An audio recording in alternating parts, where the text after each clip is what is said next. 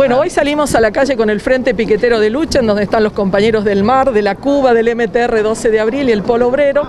Estamos exigiendo en toda la provincia que ante el inicio de clases se aumente el presupuesto necesario para la emergencia. Hacen falta fondos extraordinarios. Faltan 1.600 ordenanzas en las escuelas cuando el protocolo dice que tienen que hacerse la limpieza de los baños en la entrada, en la salida y antes de cada recreo. Hace el ministerio dicen que destinaron 42 millones que entraron el último 23 de febrero. No lo vemos. Las, directoras están cobrando a cada papá para la inscripción de su hijo 1.500 pesos hasta 4.500 en la ENET 2. ¿De qué estamos hablando con padres que cobran 10.000 pesos de un plan social y apenas una pequeña cantidad? Porque hay 9 millones de trabajadores desocupados que dejaron de cobrar el IFE y solamente 700.000 planes.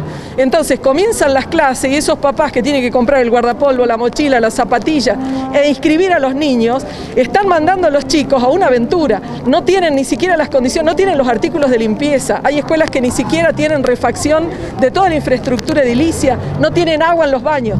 Entonces no le vamos a permitir al gobierno que haga ahorro con nuestros niños. Venimos de un fracaso pedagógico. El año pasado una enorme cantidad de, jóvenes y de niños de primaria no pudieron terminar con todos los contenidos curriculares porque no hubo un seguimiento pedagógico adecuado. Este año exigimos que haya docentes designados, además de la maestra del aula, para que haya un seguimiento pedagógico cuando el niño está haciendo la tarea en la casa. El gobierno no quiere designar más docentes. ¿Sabe lo que han dicho? Que las organizaciones barriales hagan el acompañamiento en los SIC. ¿De qué estamos hablando? Quieren reducir la calidad educativa porque son los hijos de los trabajadores. No se lo vamos a permitir.